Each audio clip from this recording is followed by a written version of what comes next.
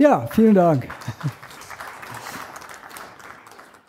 Ja, den Vorspann hier, den können wir uns sparen. Ganz kurz zu mir. Mein Name ist Hans-Gerd Gerhardt. Ich komme aus dem schönen Sauerland, aus Attendorn, um genau zu sein. Und eben ist wohl auch vergessen worden, dass also wir auch tatsächlich ein wunderbares Meetup da anbieten im Südsauerland. Da war der Thomas zum Beispiel jetzt neulich noch gewesen. Äh, ja, ich bin im Orga-Team des WordCamp Deutschland gewesen in Geroldstein und auch jetzt für das äh, Orga-Team des WordCamps Karlsruhe 2024 bin ich auch wieder dabei. Speaker bei verschiedenen WordCamps, Vorträge bei verschiedenen WordPress-Meetups.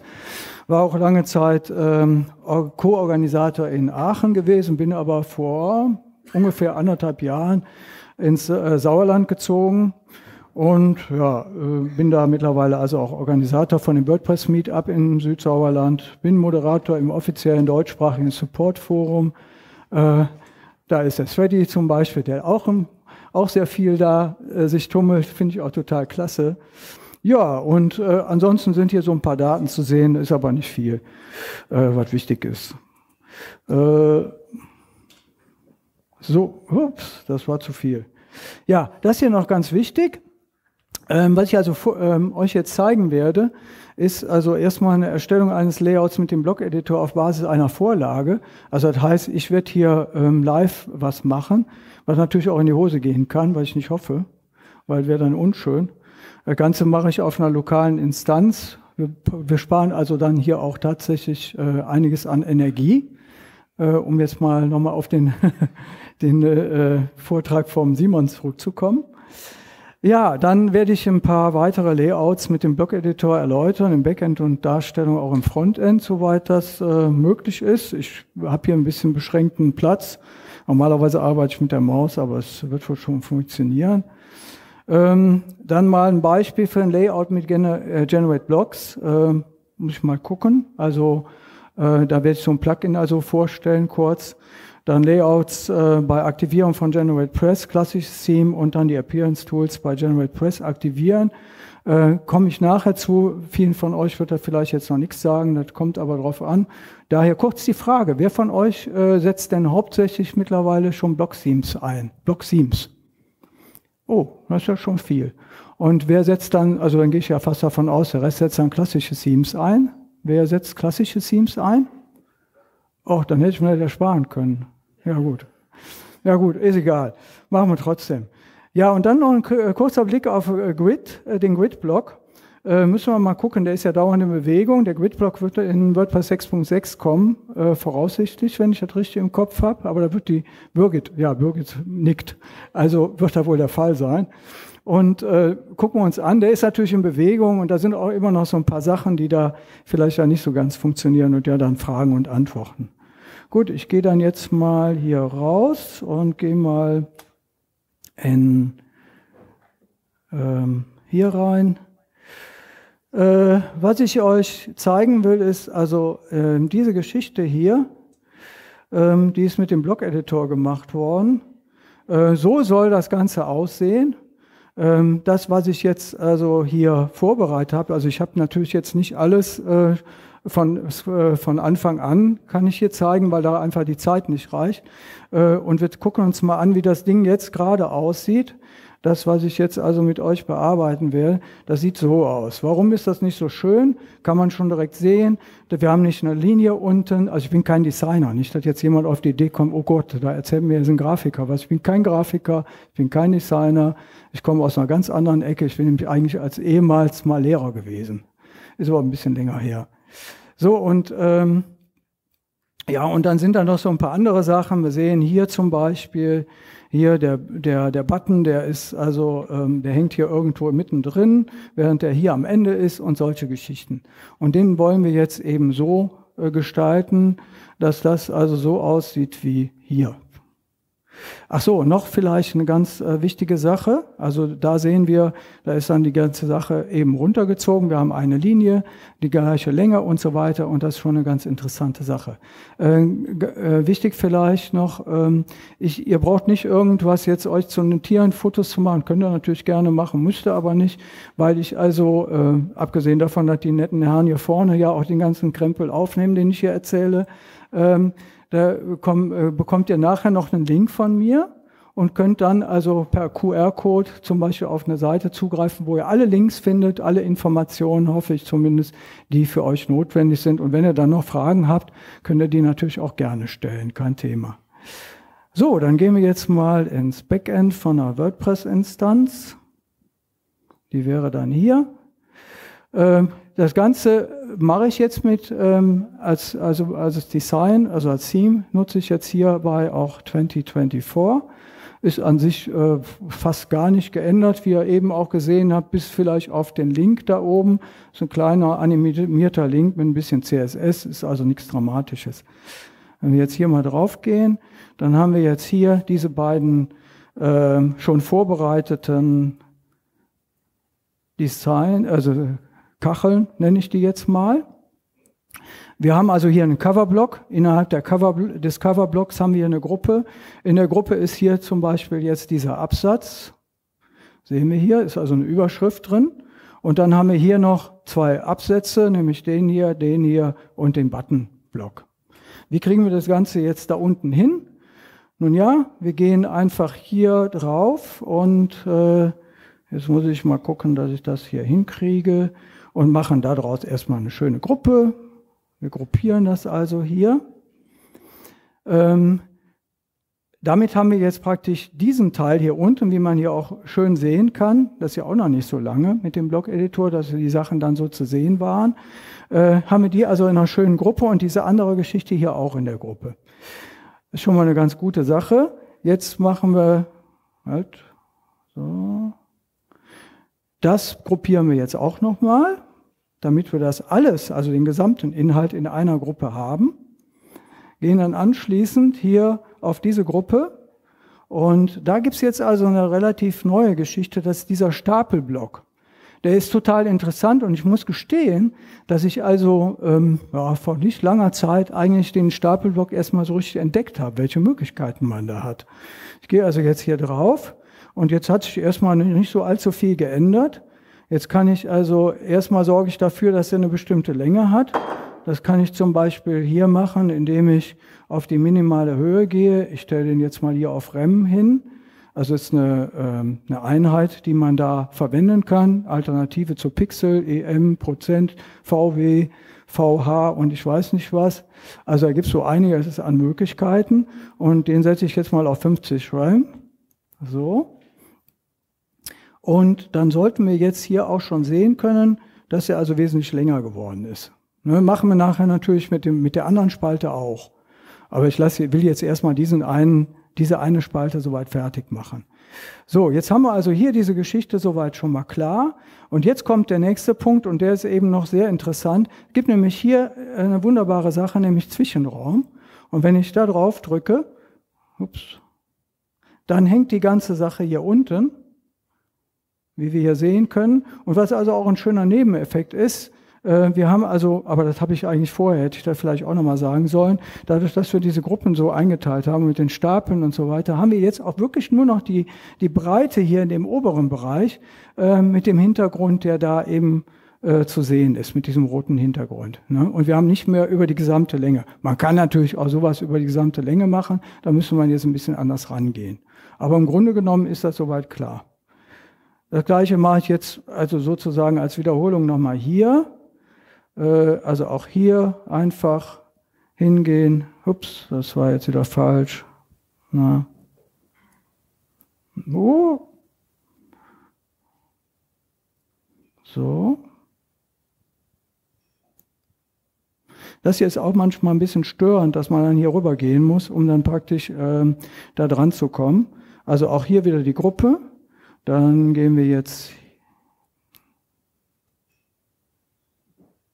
hier rein, gruppieren das wieder,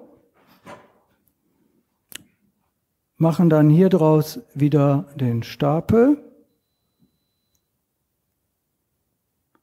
machen hier draus wieder die entsprechende Länge. Ich glaube, ich hatte eben 50 Ränder eingestellt.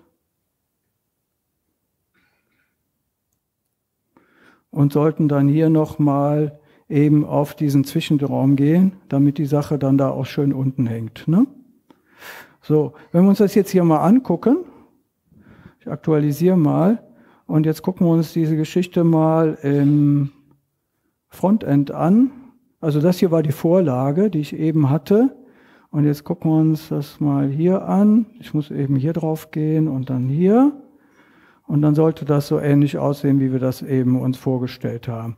Man hat natürlich immer noch die Möglichkeit, auch innerhalb dieser, äh, dieses Stapels oder der Gruppen dann auch die äh, Sachen entsprechend so einzugrenzen. Ich könnte jetzt natürlich noch einen Innenabstand da definieren, ich könnte Außenabstände definieren oder was auch immer. Äh, ja, das war so die erste Sache, die ich euch schon mal zeigen wollte. Ähm, mag sein, dass vielleicht der andere, eine oder andere da oder die eine oder andere da noch ein bisschen was mitnehmen konnte bei der Geschichte. Auf der Basis lässt sich also eine ganze Masse machen.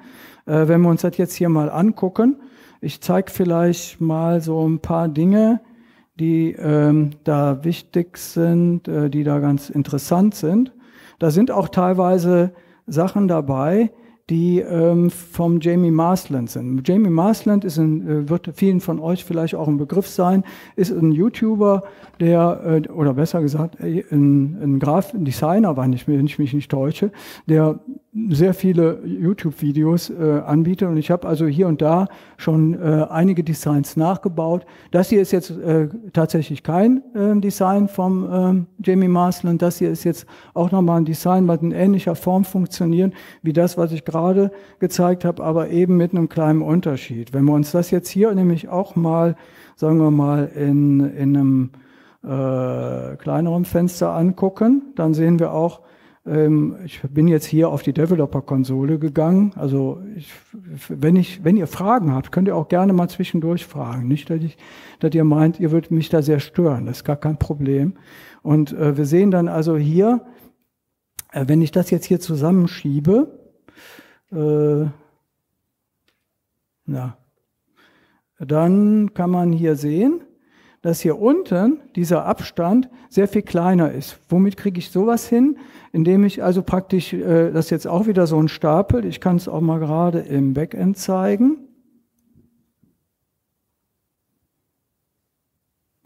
So, ich meine, das wäre das hier. Genau.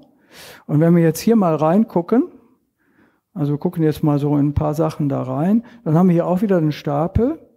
Und interessant ist vielleicht diese Sache hier, weil die ja, wie ihr gesehen habt, dann eben sich entsprechend auch anpasst. Und wenn ich da, ähm, da habe ich also praktisch in dem Fall eben diese Länge hier, die ich euch hier zeigen kann, die ist da auf 5 Rem eingestellt, während eben der andere Stapel hier in dem anderen Cover, der ist also bei auch irgendwo 35 oder sowas oder 30 REM. Ne?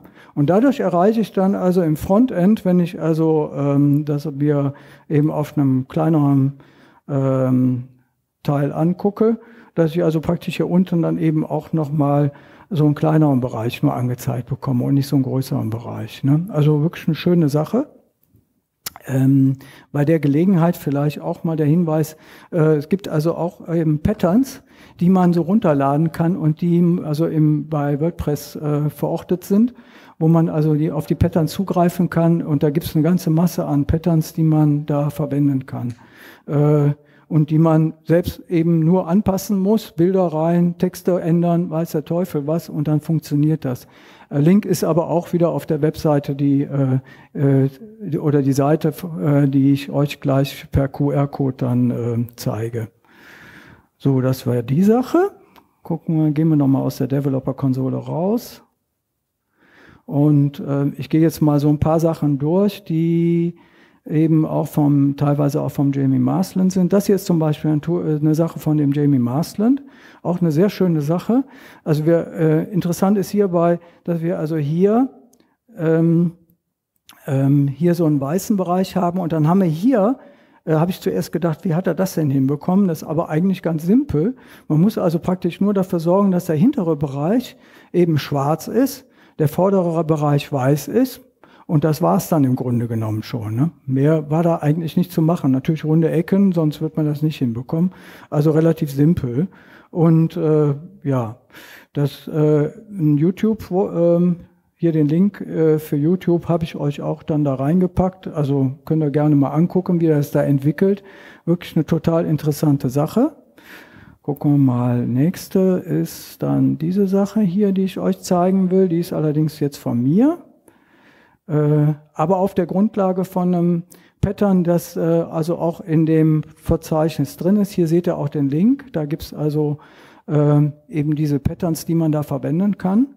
Ähm, können wir auch gleich mal drauf gucken, wenn die Zeit reichen sollte. Äh, hier in dem Fall habe ich also äh, noch nicht das Grid verwendet, was ich ja da anbieten würde. Also das werde ich dann demnächst mal machen, dann werde ich das mal praktisch ins Grid reinbringen. Und ich habe also jetzt hier diese ähm, Bilder hier mit dem Grayscale-Filter versehen. Kann man ja ganz automatisch über Duoton zum Beispiel machen. Und dann, äh, außer diese Katze hier, fand ich also total klasse, weil die also dann eben diese grell, grelleren Augen hat. Und äh, dadurch kam dann dieser Effekt zustande. Ne? Man kann das also machen. Das ist übrigens meine Enkeltochter. Also ist auch mein eigenes Bild. Ja, und äh, wenn wir jetzt hier noch, ich kann ähm, ja vielleicht noch einige Sachen dazu zeigen. Also eine ganz tolle Sache um euch mal zu zeigen, was da alles mit dem Blog-Editor so möglich ist, ist diese Sache, die ist auch wieder von dem Jamie Marsland. Da gucken wir auch gleich mal rein, weil es nämlich super interessant gemacht worden ist.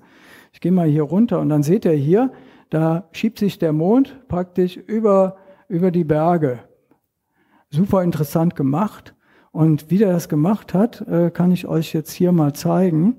Äh, wir gehen mal einfach auf ähm, den entsprechenden Beitrag. Das ist der hier, Coverblock nach Jamie Marsland.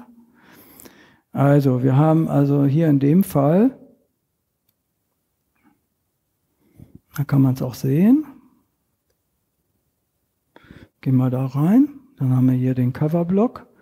Wir haben einmal einen Coverblock, das ist dieses Bild hier, das ist flächenfüllend. Und dann haben wir, also wenn, wenn wir jetzt hier mal drauf gehen, dann sehen wir das hoffentlich auch in der Mediathek. Das sollte, genau, das ist dieses hier. Und dann haben wir ein anderes Bild hier, das ist also praktisch dann freigestellt an der Stelle, ne, wo der Himmel dann kommen soll. Das ist dann praktisch schon alles. Und wenn wir jetzt hier mal reingucken, dann habe ich also hier, äh, da ist der Hintergrund fixiert, bei dem, äh, nicht fixiert, bei dem hinteren Bild, also bei dem hinteren Cover, während bei dem vorderen Cover habe ich also einen fixierten Hintergrund. Und dadurch kommt dann dieser Effekt hier zustande. Äh, blöde. da natürlich. Ne? Also ein super interessanter Effekt. Wenn ich jetzt nochmal hier im Frontend mir das angucke, äh, dann sieht man das hier nochmal sehr schön, wie das Ganze aussieht. Und damit kann man natürlich doch eine ganze Masse an Sachen machen in der Richtung. Ne? Da muss man, also da äh, ist wirklich viel möglich. So, dann, ich meine, das wäre es jetzt gewesen, was ich euch so zeigen wollte. Dann kämen wir nämlich zum nächsten Bereich. Ja, sicher, bitte. Müssen die Bildformate gleich sein? Ach so, ja. Ja, so. das eine Bild freigestellt wird sicherlich ein GIF sein. Nee. Also mit Transparenz. Äh, Müssen nee. die ist, gleich ist sein? Web, WebP, glaube ich sogar. Ähm, die sollten von, der, von, der, von, von den Ausmaßen gleich groß sein, ja. Ja, noch äh, Fragen schon an der Stelle? Also ist kein Problem, weil der Themenbereich ist im Grunde genommen jetzt auch abgeschlossen. Also zu diesen Layouts. Okay, dann gehe ich jetzt erstmal weiter. Ähm, dann kommt nämlich jetzt der nächste Bereich. Ähm, dann gehe ich nochmal hier drauf. So, das Ganze, äh, was ich jetzt euch gerade gezeigt habe, ist also mit äh, äh, 2024 erstellt worden und ohne irgendein Plugin. Ähm, ein, eine Sache will ich euch aber jetzt mal zeigen und zwar äh, ist das mit äh, Generate Blocks gemacht. Generate Blocks kommt also, äh, ist von den Entwicklern von Generate Press, also einem Theme, was also, ich glaube, zu den zehn meist genutzten Themes äh, gehört, was also auch relativ schlank ist. Ähm, diese Blocksammlung ist recht übersichtlich. Man hat also nur einen Container, dann Raster ist an sich auch diese Grid-Geschichte, wenn man so will. Überschrift, äh, Button, Abfrageloop und Bild. Ich nutze die teilweise auf Webseiten, auch von Kunden zum Beispiel, häufiger schon mal, wenn das also sich nicht anders machen lässt mit dem Blog-Editor. Äh, das jetzt soll auch so ein Beispiel. Habe ich das aktiviert? Ja. Ähm, wo ich also mal zeigen möchte, äh, wo eben die, der Blog-Editor zurzeit noch mit normalen Mitteln, also jetzt ohne CSS, ähm, äh, zu, ohne Nutzung von CSS dann doch an seine Grenzen kommt. Und zwar habe ich also hier ein Raster mit Container äh, mit Generate Blocks. Gucken wir uns mal an. Da ist er.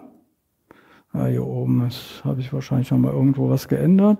So, das sieht nämlich so aus. Was ist das Problem, was man bis jetzt nicht mit, äh, mit dem normalen Blog-Editor lösen kann? Das ist nämlich diese Geschichte hier, dass diese Bilder überlagernd sind. Man kann das mit CSS natürlich relativ simpel machen, aber hier ist noch der Vorteil und deswegen finde ich also auch diese Blogsammlung sehr schön. Man kann also je nachdem, welches, äh, welches äh, Gerät ich habe, also ähm, kann ich dann also auch die entsprechenden Einstellungen vornehmen. Ne? Wenn ich also jetzt hier so einen Block habe, Gehen wir da, äh, nicht den, sondern das hier. Das ist jetzt also ein Bildblock. Das sehen wir hier oben in einem Rasterblock. Und dann kann ich also hier auch die entsprechenden Änderungen vornehmen. Wenn wir jetzt hier zum Beispiel mal gucken, dann ist das ja jetzt hier in dem Fall nicht mehr so besonders schön. Dann kann ich also einfach auf diesen Block gehen, kann sagen, ups, schon wieder raus, kann dann sagen, okay, das möchte ich aber ganz gerne in 100 Prozent haben. Und ich auf den Block gehe, auch auf 100 Prozent. Das wird jetzt noch nicht ganz passen, ist aber jetzt zur Präsentation erstmal an sich egal. Und wenn wir jetzt hier nochmal gucken, der hängt jetzt ein bisschen nach links, das hängt aber damit zusammen, dass da noch andere Einstellungen sind, die ich jetzt ändern könnte, aber macht jetzt nichts. Also ihr seht, also solche Sachen lassen sich mit Generate Blocks dann sehr schön machen. Ne? Insofern in vielen Fällen nutze ich das noch und äh, es gibt also eine Diskussion ähm, im, im äh, die, die darum äh, sich äh, dreht, äh, wie kriegen wir denn jetzt diese negativen Margins da rein? Und da ist also das ganz viel in Bewegung, da kann man also beobachten und das ist auch eine ganz wichtige Sache, denn da, äh, da haben wir die Möglichkeit dann auch ganz andere Designs mitzumachen oder zu bauen, besser gesagt. Ja, das also wäre diese Geschichte. Ähm, wenn wir uns das mal im Frontend angucken, dann sieht das Ganze eben so aus. Ist das das hier? Ja, das ist das. Dann sieht das hier so aus. Ne? Also ist ein ganz nettes Design. Muss nicht jeder schön finden, ist aber auch egal. Darum geht's ja jetzt erstmal nicht. So, ähm, das war die Sache. Und jetzt kommt also ein Punkt, der interessant ist, wenn ich noch klassische Themes verwende. Dazu schalte ich nochmal Generate Blocks aus und schalte jetzt mal Gutenberg an. Nee, noch nicht. Ich äh, ändere das Theme erstmal.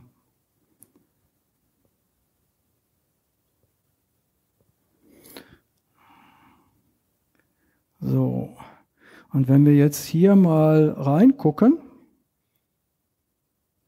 ich nehme jetzt mal eine ganz einfache Sache, das ist dieses Lorem Ipsum hier. Das ist also einfach nur ein Text oder ein Bild und mehr ist da nicht. Und wenn wir jetzt hier mal reingucken, da gibt es also eine Gruppe hier und wenn wir uns mal angeguckt haben, eben welche Möglichkeiten ich da habe, welche Eigenschaften und so weiter ich da verwenden kann bei, äh, bei einem Theme, Block-Theme, also egal ob der jetzt 2024 ist oder irgendwas anderes, dann sieht man hier schon, äh, da gibt es wesentlich weniger Möglichkeiten. Und das ist natürlich ärgerlich. Also deswegen war das damals auch so ein Grund dafür gewesen, eben Generate Blocks zu verwenden.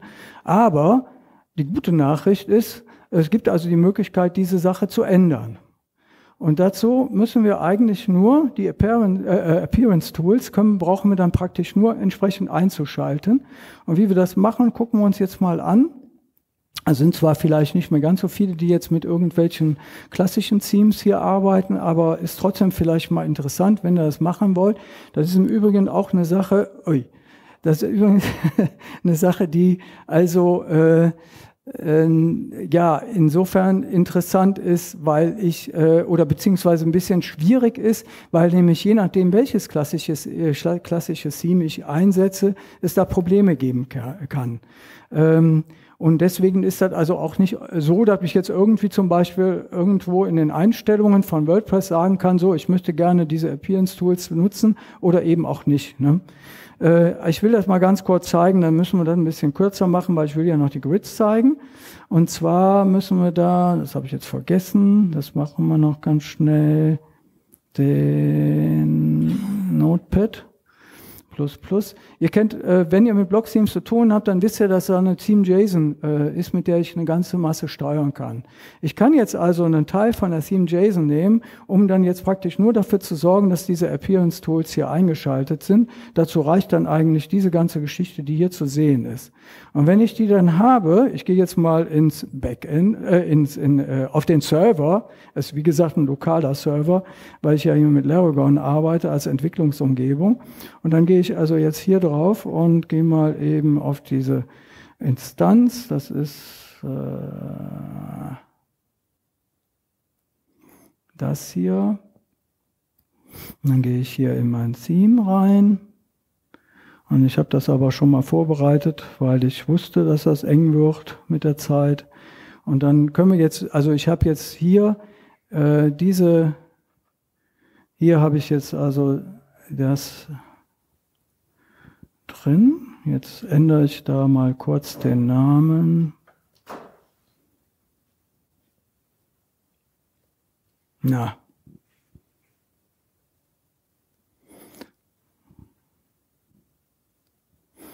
um dann, also ich muss die natürlich als äh, Team J, äh, Theme JSON da reinbringen, damit ich das, äh, damit die dann also praktisch aktiviert ist.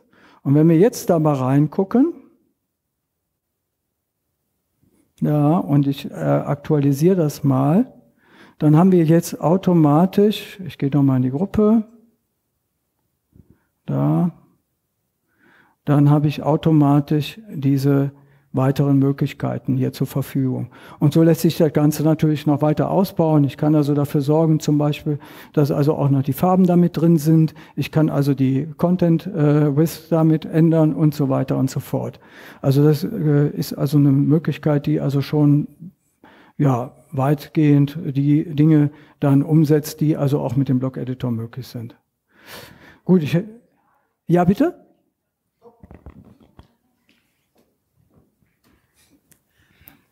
Dazu nur kurz eine Frage. Ähm, also was ist dieses Theme JSON genau? Ist das, also muss ich dafür das Theme von der Seite ändern oder nee?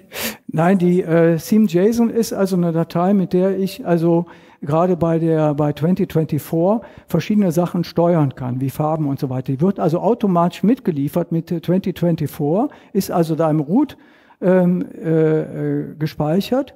Und wenn ich, äh, und die, deswegen habe ich das auch gerade hier mal versucht, kurz zu zeigen. Ich kann also auch praktisch diese Datei dann eben in geänderter Form ins Root von dem Theme Generate Press dann reinspeichern. Ist die Frage so beantwortet? Kann ich die auch für ein anderes Theme benutzen, also für 2023 zum Beispiel? 2023 hat schon eine eigene Theme-JSON drin. Die, so, die hat die Möglichkeiten dann schon, da musst du gar nichts dran machen. Okay, nur bei Die kannst du aber natürlich anpassen oder ändern, ne? Klar, weil sie auch ein Block-Theme ist, ne? Ja. Habe ich auch eine Frage. Also dieses Theme, JSON ist ein Bestandteil von dem Theme. Von, von den Block-Themes. Ja, von den Block-Themes. Mhm. Und wenn ich da jetzt, äh, wenn ein Update kommt, wird die dann mit überschrieben oder äh, ist dann äh, Child-Theme besser? Oder? Ja, sicher. Wenn du jetzt, äh, sagen wir mal, die Theme-JSON ändern wolltest, also in dem normalen Theme, dann wird die wahrscheinlich überschrieben. Mhm. Birgit nickt, also habe ich da recht. Wäre, da wäre halt ein, äh, ein, guter Tipp sozusagen, dass man ja, dann Child-Theme nimmt ja. und da die Theme-JSON genau. reinbringt. Ja. Das ist also immer das Problem, ne? wenn man also irgendwelche Anpassungen an dem Originaltheme vornimmt, ähm, dann hat man eben ein Problem. Ne? Deswegen ist dann eben sinnvoller, ein Child-Theme zu nehmen, wenn man tatsächlich an der Theme-JSON äh, Änderungen vornehmen wollte. So, ich wollte aber noch ganz kurz äh, äh, wollte ich noch wenigstens also Grid zeigen. Das mache ich auch dann noch, dann müssen wir halt da durch. Äh, also dazu in, äh, ändere ich jetzt nochmal ganz kurz das Theme. Gehe nochmal auf 2024. Gehe dann auf die Plugins. äh, und aktiviere Gutenberg. Gutenberg ist ja ein, äh, ein Plugin, was also äh, experimentelle Möglichkeiten bietet, äh, die also in einer der folgenden Versionen von WordPress vor, äh, reinkommen sollen. Dazu muss man hier in Gutenberg reingehen und auf Experimente. Und wenn man dann da drauf ist, dann hat man hier die Möglichkeit, da gibt es also immer unterschiedliche Dinge, die dann angesprochen sind. Hier sehen wir zum Beispiel, habe ich Formular- und Eingabeblöcke, sollen kommen und genauso eben die Rasterinteraktivität, also der Gridblock. Und wenn ich jetzt äh, mir das hier mal angucke, der ist ja jetzt hier schon aktiviert. Ich gehe mal auf einen Beitrag und äh, jetzt versuche ich das nochmal in der Kürze der Zeit mal kurz zu zeigen. Ähm, da gehen wir hier auf Grid. Und dann haben wir jetzt hier irgendwelche Blöcke, die sind als Gruppenblock da drin. Und wenn ich jetzt hier äh, eben äh, Gutenberg aktiviert habe, dann gibt es eine zusätzliche Option, nämlich Raster. Und wenn ich das hier so aktiviere, dann habe ich hier automatisch, wird das Ganze in einem Raster angelegt. Äh, wichtig ist in dem Zusammenhang, es gibt einmal die Möglichkeit, bei, äh, den Typ als Auto zu nehmen oder als manuell. Und ich kann also dann je nachdem, was ich da mache, wenn ich jetzt hier manuell zum Beispiel einschalte, dann sind da nur noch drei Spalten oder sind drei Spalten in dem Fall. Ich kann die natürlich erhöhen und der gleiche. Und bei Auto wird das, ist das abhängig von der Spaltenbreite. Problem bei manuell ist, wenn ich da drei Spalten eingetragen, eingestellt habe, dann werden die auch responsive als drei Spalten einge, angezeigt. Und das ist natürlich Kappes, ne? also wie der Rheinländer sagen würde, weil also das sieht nicht aus. Ne? Also insofern sollte man das hier bei Auto lassen. Und äh, jetzt können wir mal gucken kurz noch, wie das Ganze aussieht. Ich gehe dann hier zum Beispiel auf so einen Stapel und kann den dann hier ganz normal rausziehen. Und dann sehen wir hier, wie das Ganze so dargestellt wird. Also man kann es äh, auf die Art machen. Gibt aber noch eine andere Möglichkeit. Wenn ich jetzt hier auf die, äh, Eigenschaften gehe, dann habe ich auch die Möglichkeit, hier die Spaltenausdehnung und die Reihenausdehnung zu ändern. Ich könnte also zum Beispiel jetzt hier auch reinschreiben zwei und dann haben wir den praktisch da runter, runtergezogen. Ne? Ähm, bei meiner Vorbereitung habe ich wohl festgestellt, dass es da noch ein paar komische Sachen gibt. Aber da gehe ich jetzt nicht drauf äh, ein, weil, äh, ich, weil die Zeit einfach nicht reicht. Sonst hätte ich das gerne auch nochmal gezeigt, wo es da vielleicht so ein paar komische Sachen gibt, die vielleicht dann noch ähm, wegkommen. Aber man hat ja immer die Möglichkeit, dann in GitHub zu gehen und da entsprechend ein äh, Issue zu melden. Ja, und damit wäre ich jetzt im Grunde genommen soweit. Und wie versprochen kommt jetzt hier mein QR-Code. Also ich danke euch für die Aufmerksamkeit und äh, wenn ihr die Infos haben wollt, die euch vielleicht interessieren möcht, mögen, dann findet ihr die auf dieser, unter diesem QR-Code mit einer ganzen Masse an Links zu weitergehenden Infos. Ich weiß nicht, ob ich noch Zeit habe für Fragen. Doch. Ja, sind noch Fragen da? Erstmal vielen lieben Dank. Danke. Danke. Da oben ist eine Bevor Frage noch. Kommst, Können wir die noch machen? Frage an dich. Ja, wir haben noch ja? Zeit, ganz entspannt. Okay. Ich habe tatsächlich eine erste Frage äh, und zwar jetzt gerade mit dem Rasterblock und so weiter. Ähm, Gibt es denn auch ähm, nativ schon stellt, dann ist der sowieso schon responsive. Aber Nur wenn ich den auf manuell stelle und die Spalten da einsetze, dann ist der nicht responsive. Okay. Ja, also sollte man den so lassen. Ich kann den noch mal eben zeigen. Bei äh, die Einstellung. Blocks mit aber den habe ich jetzt hier noch nicht gesehen. Ja, hier ist das, also wenn ich hier auf manuell stelle, ja, dann habe ich hier drei Spalten und dann wird der responsiv nicht richtig dargestellt. Aber der Umschalter ist dann immer noch nicht da. Wo, so, wo ich sehe, was auf Tablet und Handy passiert. Nee, nee, äh, das nicht, das ist nicht da. Sozusagen. Nee, nee, nee, nee, das nicht. Okay. Aber, aber hier, äh, wenn ich den hier auf Auto stehen habe, wir gucken uns vielleicht mal eben kurz äh, um die Frage dann zu beantworten, nochmal eben hier sowas an. Ich hoffe, ich habe sowas hier. Habe ich das hier? Nee, das ist ja noch so. Moment. Ich meine, ich hätte einen schon mal vorbereitet hier. Mal gerade gucken, was da Grid, da könnte was sein. Nee. Müsste ich jetzt speichern? Können wir mal gucken. Wir speichern mal eben, gucken uns das mal an. So.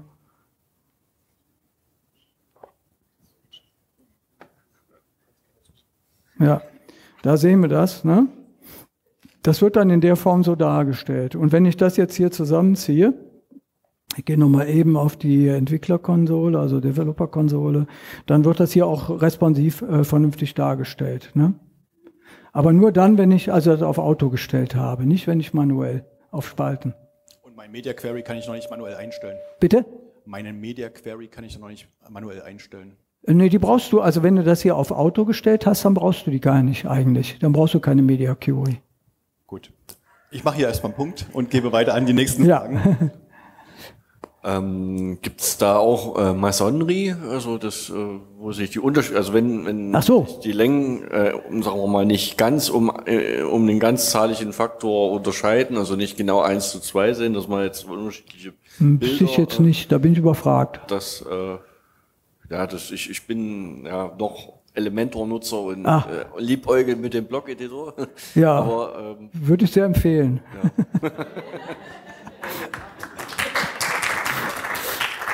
aber es ist ja aufwendig, da umzusteigen bei ein paar hundert Ja, das ist blöd. Ja, da hast du dir aber was angetan. über Jahre. Ja, ja. Na gut. Okay, tut mir leid. Gibt es noch weitere Fragen? Hat noch jemand Fragen? Wir haben noch vier Minuten. Nutzt sie. Mike, hatte ich denn deine Frage richtig beantwortet oder war da jetzt irgendwas unklar? Ah, Ich habe das schon so ein bisschen hier äh, mit dem Tuscheln äh, vernommen und es gibt da irgendwie ein paar Möglichkeiten, habe ich vernommen. Ähm, das heißt, ähm, Ja. Worauf ich hinaus wollte, bei Generate Blocks hast du ja die Möglichkeit zwischen dem Media Query, so Ja, ja, ich Desktop, weiß, Tablet genau, und Handy und ja. so weiter. Die habe ich jetzt noch ein bisschen nativ vermisst, aber Ja. kommt wahrscheinlich alles auch noch. ähm, Ich könnte mir vorstellen, ja. Müsste man mal sehen. Maya sagt, es ist da. Irgendwie zwei Blöcke. Lass uns noch mal kurz in den Editor reingehen und uns noch mal angucken. Ja gut. Maya, Ja, wenn wir die noch Zeit mal. noch haben, ja klar. Na klar, wir haben noch Zeit. Ja, Guck gut, mal, dann machen wir Minuten, das. ganz entspannt. Gucken wir nochmal. Und Maya meinte drei Blöcke weiter links, also neben dem Grid-Block. Äh, wo? Da, ganz oben. Da war doch aktualisiert.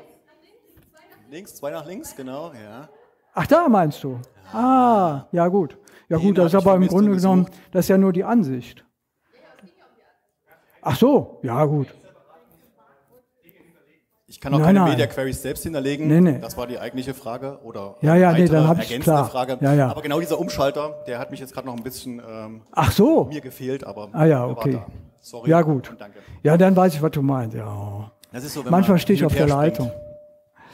So, dann erstmal Ja. besten Dank Ja, für vielen Dank. Vortrag. Ja. Ähm, Wir Danke.